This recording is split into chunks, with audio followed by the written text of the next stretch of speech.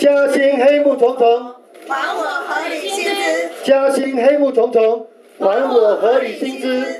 呃，明天是护士节啊，台湾护理产呃台湾护理人员产业工会针对啊，呃政府一再宣示我们护理人已经加薪的这个事情，呃做了一个呃调查。这个所谓的剥削护理人员进阶版二点零，第一个，比方说把本薪往下降，然后其中把某个数字，比方说两千元到五千元不等的叫做签约金。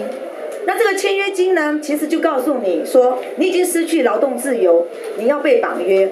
最多的我们听到就三年。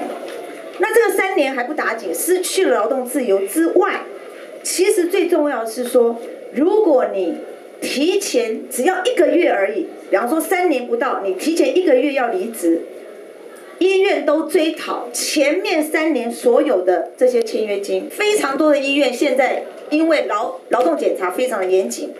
常常怕护理人员因为延迟下班没有给加班费，规定护理人员下了班以后，先打卡再回去上上班。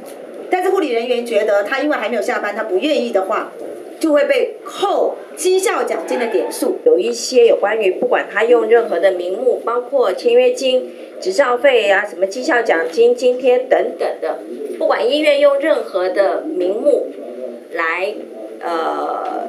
让护理人员的薪资结构变成非常非常的多样。事实上，这都是护理人员因工作而获得的的报酬。一百零四年，我们依然是针对医疗保健服务业，还是会做劳动检查，尤其是针对去年检查有违法的是那个医疗院所，今年再去做检查，加强检查。我们希望护理人员的劳动条件能够改善。